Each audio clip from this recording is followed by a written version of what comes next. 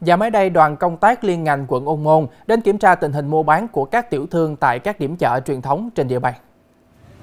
Đoàn đã đến kiểm tra tại chợ trung tâm quận Ô Môn, chợ Long Hưng, chợ Thới Long, chợ Thới An, chợ Bến Đò Đu Đủ, chợ Phước Thới và chợ Ba Xe. Các tiểu thương cho biết sức mua năm nay giảm so với cùng kỳ năm trước, giá cả các mặt hàng không có nhiều biến động. Qua kiểm tra, đoàn đã ghi nhận những kiến nghị của các tiểu thương về việc hỗ trợ bình ổn giá, cam kết có đủ nguồn hàng để cung ứng cho thị trường, tránh tình trạng thiếu hàng tăng giá đột biến. Đoàn cũng nhắc nhở tiểu thương về việc niêm yết công khai giá sản phẩm, lựa chọn mặt hàng chất lượng có xuất xứ nguồn gốc rõ ràng để cung cấp cho người tiêu dùng.